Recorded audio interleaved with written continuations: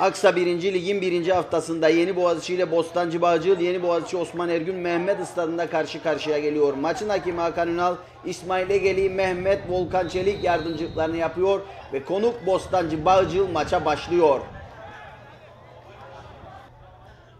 İlk atak Yeni Boğaziçi'nden gelişiyor. Savunma arkasında Cemil topla buluşuyor. Sol çapraz açısı dar. Vuruşu kaleci o noktada Cafer başarılı.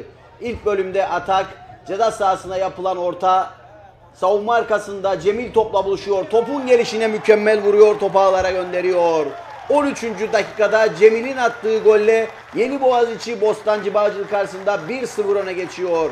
Cemil ve arkadaşlarının gol sevinci. Golden sonra gelişen Ali Kemal'la Bostancı Bağcılı atağı vuruş direkten dönüyor. Şanssız bir dakika Bostancı Bağcılı adına.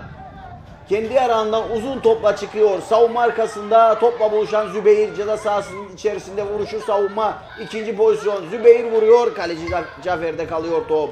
Köşe vuruşu kullanıyor Bostancı Bağcıl. Penaltı beklentisi var. Oynayın diyor Hakan Ünal. İtirazlar var. Karar değişmiyor. Şiddetli itirazlar var Bostancı Bağcıl'da. Elle temas olduğu yönünde ama oyun devam ediyor. Sonrasında sarı kart çıkıyor. O noktada Ersen'e. İlk 45 dakika 1-0 Yeni Boğaziçi üstünde tamamlanıyor. İkinci yarıya Yeni Boğaziçi takımı başlıyor. Uzun gönderilen top savunma arkasında Tolga kaleciden sıyrılıyor. Yerde kalıyor maçın hakemi penaltı noktasını gösteriyor.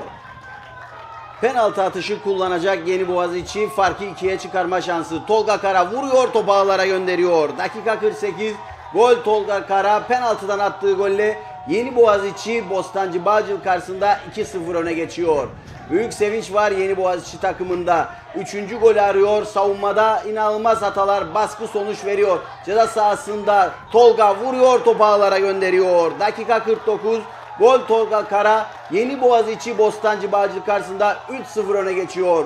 Savunmanın hatasını affetmiyor Tolga ve skoru 3-0'a taşıyor. Maçta artık son anlar gelişen bir başka Yeni Boğaziçi hata. Yine savunma arkasında topla buluşan o noktada Tolga ceza sahası içerisinde rakibinden sıyrılıyor, yerde kalıyor.